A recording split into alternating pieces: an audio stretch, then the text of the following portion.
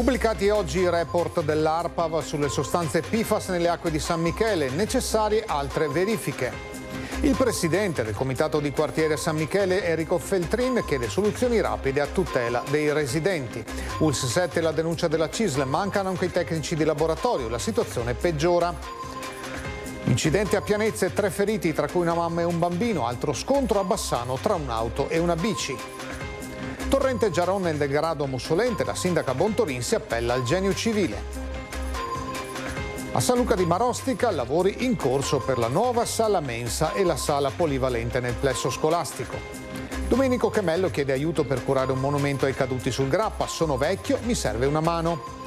Disagi tra Alta Padovana e Castellana per la chiusura di un sottopasso ferroviario. I comuni cercano soluzioni.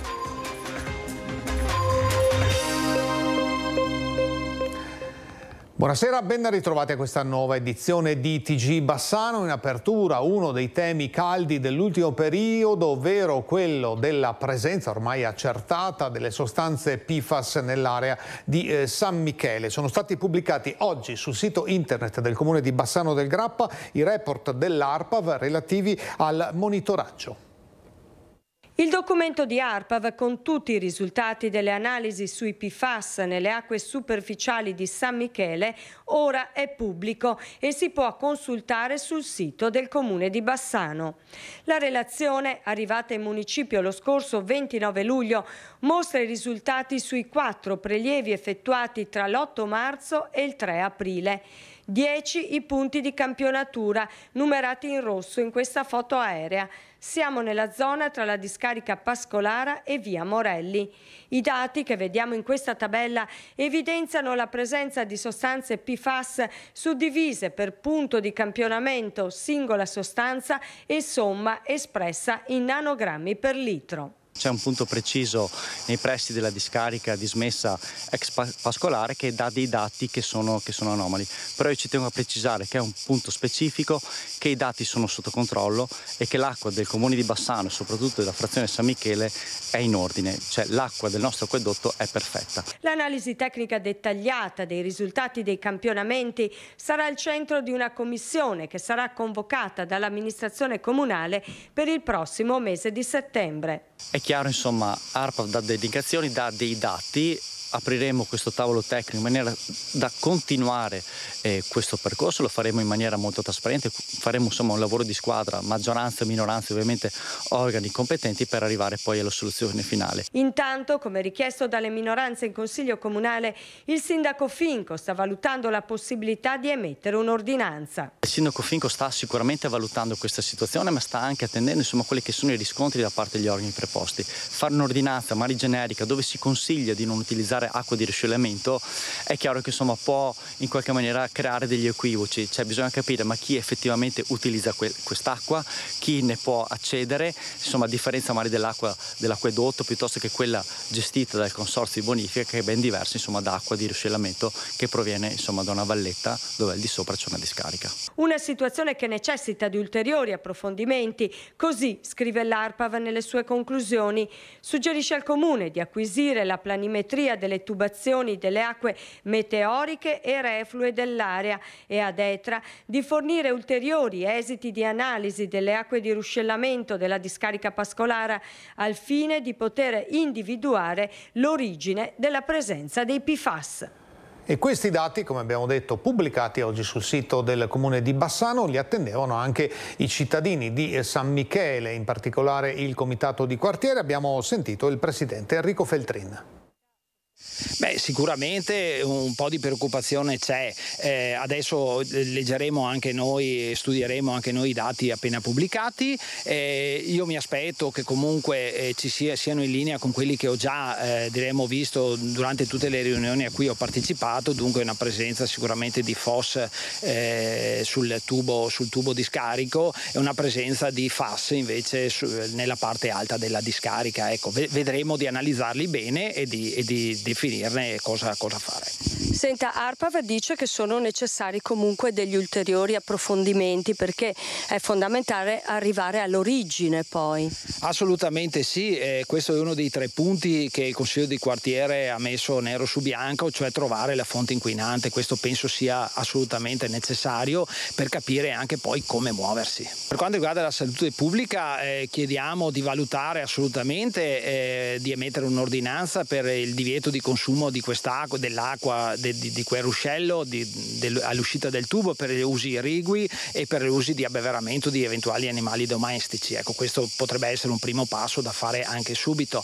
Io spero che le prossime, eh, se, c'è, se c'è da valutare qualche altro campionamento, sia molto più veloce perché bisogna arrivare assolutamente ad una risoluzione del problema in modo veloce ma che sia, che sia veramente efficace. Ecco da ovest a est della città, da San Michele a San Vito, dove si dovrebbero concludere domani i lavori di bonifica dell'area di sgambatura eh, Cani. Le ruspe e le trivelle hanno continuato a fare le verifiche preliminari in vista della prevista costruzione di un'eco piazzola. Le indagini sono necessarie per la presenza di anomalie legate a metalli sottoterra che potrebbero essere residui bellici. Non si placa però nemmeno la protesta dei residenti che sono contrari alla realizzazione dell'opera da parte di Etra.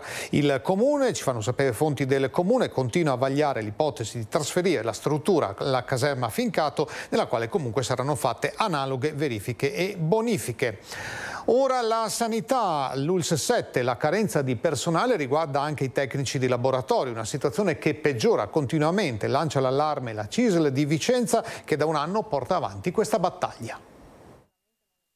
La carenza di personale all'interno dell'ULS 7 Pedemontana è ben nota e il recente bando per chirurghi vascolari andato deserto è solo un esempio di questa situazione. Ora arriva l'allarme anche per la carenza di tecnici di laboratorio, professionisti essenziali per i laboratori di analisi, l'anatomia patologica e i centri trasfusionali. A lanciare questo allarme la CISL di Vicenza. Si tratta dell'ennesima carenza di personale all'interno questa volta dei laboratori e quindi dei tecnici di laboratorio sia del centro trasfusionale che comunque proprio della figura stessa. Purtroppo questa non è affatto una novità, anzi. Non è un dato nuovo in quanto è oltre un anno che cerchiamo soluzioni per gestire eh, questa carenza di figure professionali. Si tratta di una carenza comunque diffusa che però sembra avere una ricaduta particolarmente grave sull'azienda sanitaria pedemontana. Sull'UL7 in maniera particolare si rischia di non poter più gestire le reperibilità notturne, festive e di questa figura che è molto importante. I tecnici hanno come stella polare il mantenimento della qualità del servizio nei confronti dei cittadini, ma la coperta è corta, troppo corta dopo un anno di salti di riposi, cambio turni, trasferimenti da un ospedale all'altro, la situazione deve essere presa in considerazione seriamente. Voi cosa chiedete come CISL? Come CISL chiediamo che si intervenga sia sulle università per l'apertura di corsi anche a Vicenza che permettano ai giovani di iscriversi su queste professioni sanitarie che nessuno vuole più fare chiediamo all'ULS 7 di tenere aperti bandi continuativi per reperire personale anche non della provincia, perché la maggior parte comunque personale che viene dal sud Italia e magari offrendo a loro anche delle possibilità di eh, residenze in loco eh, che sono uno degli altri problemi è ovviamente un tema che continueremo a seguire e sul quale vi terremo aggiornati. Passiamo ora alla cronaca, ore di apprensione a Bassano e dintorni per la scomparsa ieri sera di un anziano è stato ritrovato sano e salvo. Sono state ore di grande apprensione a San Michele per la scomparsa di un 81enne che si è allontanato ieri sera dalla sua abitazione in località Valtripona. A dare l'allarme sono stati i familiari che questa mattina hanno chiamato i carabinieri. La prefettura ha fatto scattare il piano previsto nel caso di scomparsa di persone e che ha visto sul campo un ampio dispiegamento di forze.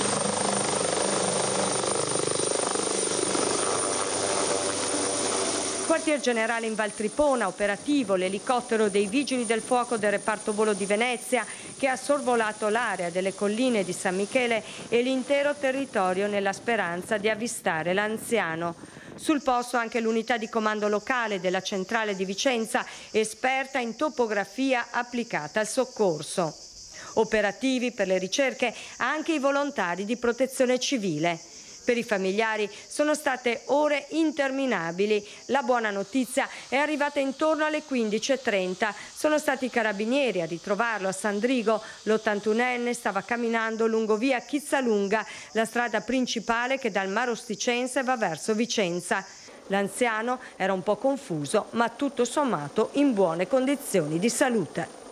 È di tre feriti il bilancio di un incidente stradale avvenuto questa mattina intorno alle 9 in via San Pio X a Pianezze, non lontano da Marostica. Sono intervenute due pattuglie della Polizia del Nord-Est Vicentino, una di Marostica e una di Sandrigo, vigile del fuoco, personale sanitario e una pattuglia dei carabinieri di Bassano. Coinvolte una BMW guidata da un 23enne con altre due persone a bordo rimaste illese. Una Ford Fiesta guidata da una 28enne di Marostica che si è ribaltata per cause al vaglio delle forze dell'ordine. La donna incinta aveva a bordo anche il figlio Entrambi sono stati assistiti dal personale del SUEM, poi trasferiti a scopo cautelativo in ospedale. Tutti gli occupanti delle vetture erano già usciti autonomamente dagli abitacoli al momento dell'arrivo dei soccorsi. La strada è rimasta chiusa un paio d'ore per permettere alla pulizia della carreggiata. Un altro incidente, eh, proprio negli stessi minuti, si è invece verificato a Bassano l'incrocio tra Viale Venezia e Viale delle Fosse. Erano circa le 9.40 quando al trafficatissimo incrocio tra Viale delle Fosse e Viale Venezia, alle porte del centro storico di Bassano del Grappa, si è verificato uno scontro tra una vettura e una bicicletta. Quest'ultima era nella corsia verso nord e avrebbe dovuto proseguire diritto. L'automobile invece, arrivando da Viale Venezia, stava svoltando a sinistra per dirigersi a Bassano. Stando alla ricostruzione, uno dei due conducenti non ha rispettato il semaforo rosso, invadendo quindi l'area dell'incrocio senza averne diritto. Inevitabile Inevitabile a quel punto l'impatto che avrebbe provocato lievi ferite al ciclista portato in ospedale e rimasto vigile. Sul posto sono arrivati un'ambulanza del SUEM e una pattuglia della polizia locale per i rilievi. I semafori di quell'incrocio hanno un tempo di due secondi in cui il rosso vale per tutte le direzioni. Se l'infrazione fosse a carico dell'automobilista sarà l'impianto Tired a certificarne la violazione. Non così nell'altra corsia dove le telecamere non ci sono ma non potrebbero in ogni caso rilevare le violazioni a carico delle biciclette che, essendo senza targa, non sono identificabili con certezza. Torniamo in via Mottinello, strada divisa in due tra i comuni di Rossano Veneto e Galliera Veneta, una strada che spesso si allaga con le bombe d'acqua. Una soluzione ci sarebbe, ci dice il vice sindaco di Rossano. La soluzione degli allagamenti periodici che si verificano in via Mottinello si trova al di là del confine di Rossano, verso Galliera Veneta. L'accumulo di acqua, secondo il vice sindaco di Rossano Veneto, non dipende, almeno non totalmente, dalla pendenza che arriva da via 11 febbraio. Se così fosse, eh, basterebbe un tombino in più o un pozzo perdente in più, però noi abbiamo dimostrato loro in più occasioni che eh, questo noi lo possiamo fare anche domani mattina, ma non va a risolvere il problema perché il problema per essere eh, risolto alla radice, ed è proprio il caso di dirlo, dovrebbe eh, essere eh, preso in mano a partire da un segmento di marciapiede che insiste in lato Galliera, bisognerebbe completamente eh, toglierlo, eh, si tratta di pochi metri, due metri, un metro e mezzo, due metri. Eh, il marciapiede fa eh, tappo eh, in un ruscello che è vuoto, in un alveo vuoto di una vecchia roggia, ecco che in questo modo quell'acqua là defluirebbe completamente eh, in questo alveo. Questa è la prima ipotesi, ma ce n'è anche un'altra. È quella di tirare su tutta la via, di farla a, non a dorso d'asino così come adesso, ma eh, in modo inverso con le, con le, caditoie centrali. La volontà di farlo c'è e, e, e le amministrazioni eh, si devono solo trovare per capire qual è delle, delle soluzioni, qual è l'una. E a proposito di corsi d'acqua, la sindaca di Mussolente, Elena Bontorin, si appella ancora una volta al genio civile per risolvere la situazione di degrado del torrente Giaron. Prima. Dopo. Vedete qualche differenza? Decisamente sì, perché la situazione già critica del Giaron, principale affluente del Musone, in zona Borgofaveri, in pieno centro abitato di Mussolente, è a dir poco peggiorata. Lo scorso ottobre, ricorderete, avevamo seguito la petizione dei cittadini supportata dall'allora sindaco Cristiano Montagnier, in cui si chiedeva che il genio civile di Treviso e la regione si muovessero per la pulizia del corso d'acqua, trasformato, ben si vede dalle immagini, in un canneto, erbacce alte e totale degrado. A mesi di distanza nulla è cambiato e la sindaca Elena Bontorin torna all'attacco. Continuiamo a chiedere che venga pulito e sistemato, ma ancora non ci viene data nessuna risposta. Nulla si è mosso? Nulla si è mosso. Ecco, io chiedo davvero pubblicamente che eh, non solo a Mussolente, ma in tutti i territori, perché siamo tutti presi nella stessa situazione, ci venga data insomma una mano in più per tutelare i cittadini anche rispetto a condizioni di salute pubblica che diventano veramente complesse da gestire. Anche perché lei dice eh, se non riescono, se non possono muoversi loro, che almeno ci diano possibilità di muoversi muoverci noi. E certo, che ci autorizzino ad intervenire, che cambino effettivamente le cose. Se il genio civile non riesce a seguire questi canali d'acqua, ecco, sediamoci in un tavolo e capiamo come le cose possono cambiare. Vedremo proprio poi in vista dell'autunno e di quella che normalmente è, dovrebbe essere la stagione delle piogge. Andiamo ora a Marostica perché vanno avanti velocemente i lavori per la nuova sala mensa e sala polivalente in località San Luca.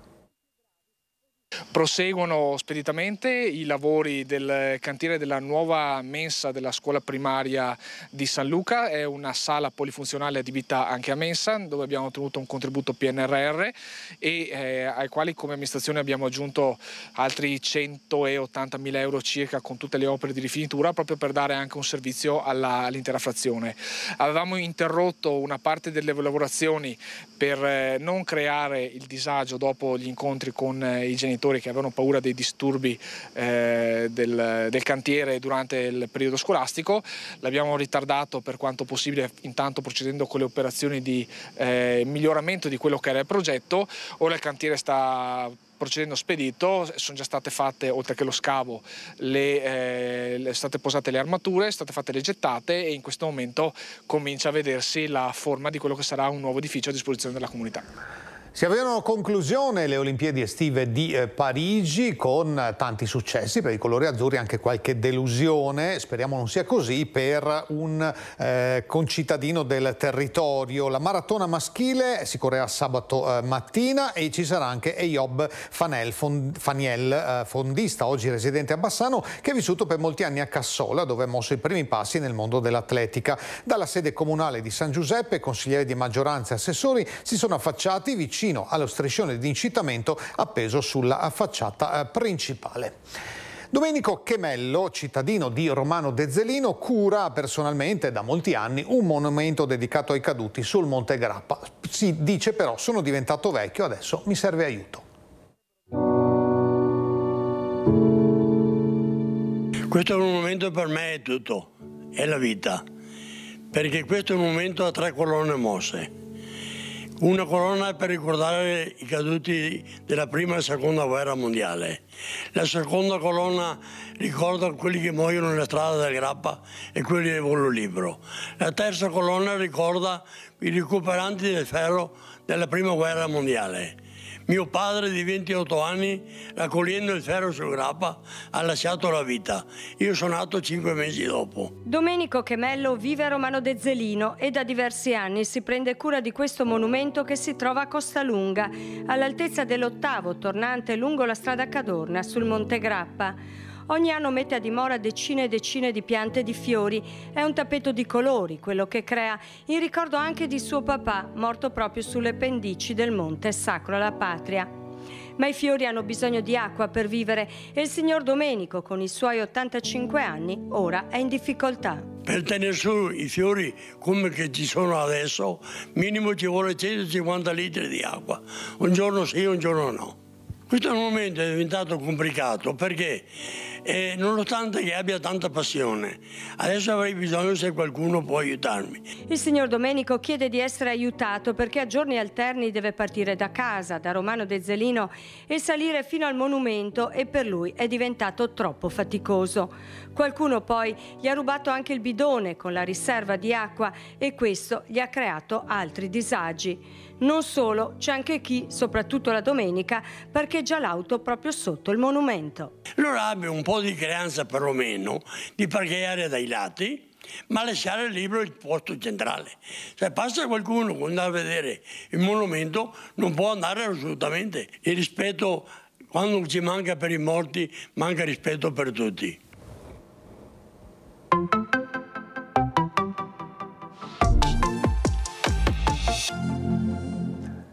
Parliamo ancora di strade, ne abbiamo parlato ancora qualche giorno fa, la chiusura di un sottopasso ferroviario a San Martino di Lupari sta creando disagi in tutta la zona. Il sindaco di San Martino di Lupari invoca soluzioni condivise ed efficaci.